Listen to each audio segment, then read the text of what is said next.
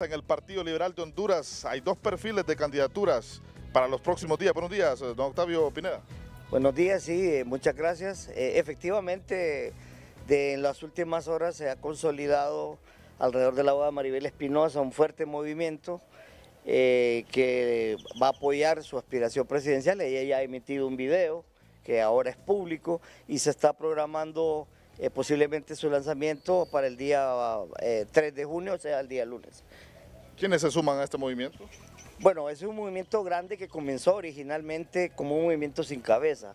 Ahí estábamos, por ejemplo, el abogado eh, Mauricio Villeda, José Luis Moncada, eh, Marcia Facusé, eh, estaban personas de, distintos departamentos. de en ese movimiento también estaba Marlon Lara, José Alfredo Saavedra, su servidor, eh, y otros eh, colegas y personas que no han participado de la política, pero que en esta oportunidad van a apoyar a Maribel porque ven en ella una persona seria, una persona responsable de valores y de alto criterio profesional. ¿Qué otros perfiles se postulan?